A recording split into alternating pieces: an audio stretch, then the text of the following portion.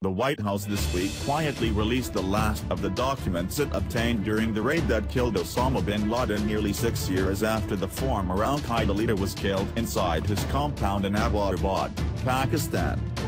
The Office of the Director of National Intelligence published declassified versions of 49 of bin Laden's documents Thursday, Barack Obama's last full day as president, rounding out his administration by recalling a highlight of his tenure in office.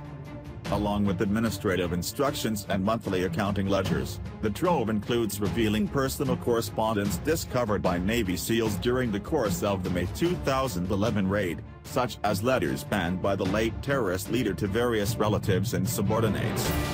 In a letter dated January 7, 2011, four months prior to his death, bin Laden told his sons Uthman and Muhammad that he was longing to see them, but that our security situation does not allow us at this time to be together.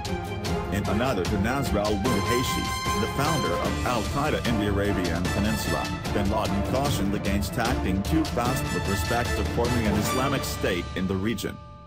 Blood should not be shed unless we have evidence to show that the elements of success to establish the Islamic State and maintaining it are available or if achieving such goals is worthy of shedding such blood, he wrote, he wrote.